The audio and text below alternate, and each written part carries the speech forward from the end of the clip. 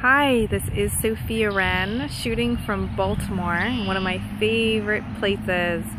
And I love coming here because there are birds, red-winged blackbirds that always fly where I can see them and check out their really cool wings and it's so peaceful.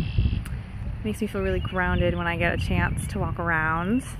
So welcome to one of my favorite places ever and I wanted to come here to shoot a special video for Mandy's challenge. And I want to share with you a really amazing tool that only takes a few minutes to use but is so worth using. And it's totally changed my life and I've been using it with a lot of my clients too.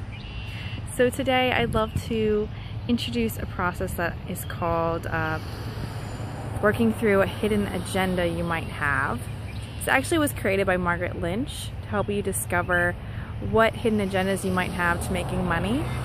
But something that I changed was that I decided that, hey, what if this could help me get through a block in writing my book? And I've been working with a lot of entrepreneurs and writers who are finally ready to use their book to really make a big difference in the world, change someone's life, so that they can be seen as who they really are and connect to opportunities and resources and people that are a really good fit for them and their mission and get out there in the world. So I'm out there in the world and what you need to do is get out a sheet of paper. I'm gonna give you everything you need to know and then I'm gonna leave you and trust that you're gonna put this into action. Okay, so grab your piece of paper and at the top think about something that has been weighing on you and is not going as smoothly as you would like it to. A goal, perhaps it's writing a book. You know I love that. I'm the book priestess. But it could be something else, whatever kind of project you're working on, because everything you're working on has a desire to be born into this world.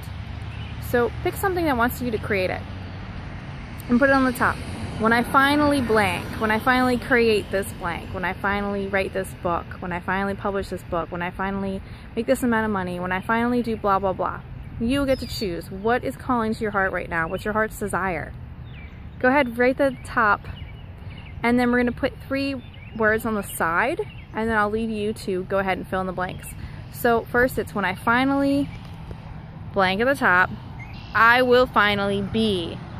Go ahead, put that on the left. I'll finally be, then leave some space, and then put I'll finally have, leave some space, I'll finally prove to blank. Okay, so basically now you're just gonna brainstorm every possible thing you could put into this.